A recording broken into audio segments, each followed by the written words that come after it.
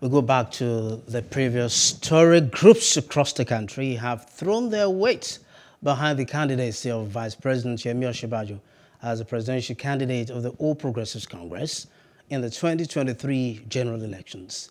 The groups under the aegis of the Progressive Project, TPP, aims at garnering support for Professor Osinbajo as the next president of Nigeria. The report is presented from our studios.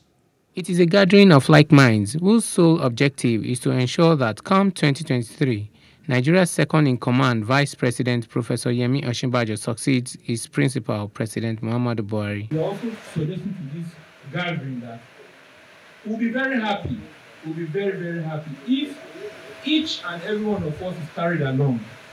We have to go back to our state to make sure that all the state, uh, state uh, stakeholders we have to follow them one after the other that canvas for our principal. At level, at the grassroots level, we are doing a lot. One peculiar thing with our people is this.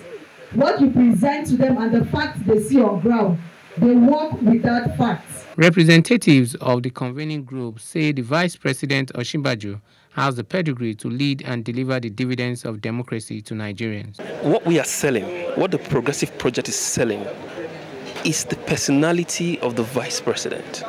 We need to first of all identify that. The vice president has a personality that is unique, that everybody on the streets identify with him. So why don't we come up and say this man is good enough for the job? I have no doubt.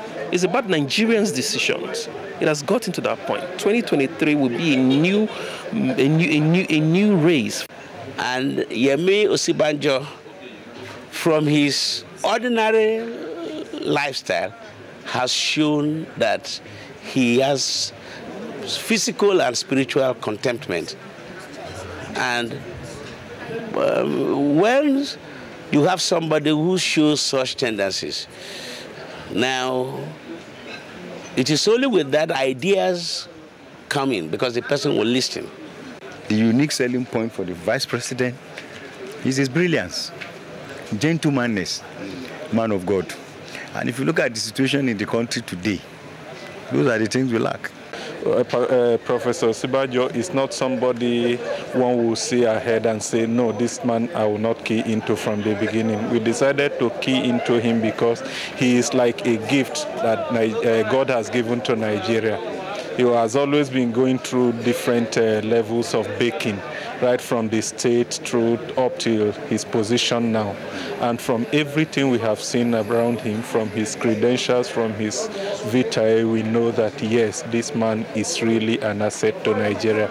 The atmosphere is already being charged up with political gladiators from the two main political parties positioning themselves for a showdown on who occupies Aso Rock, the country's highest seat of power in 2023. Hello, hope you enjoyed the news. Please do subscribe to our YouTube channel and don't forget to hit the notification button so you get notified about fresh news updates.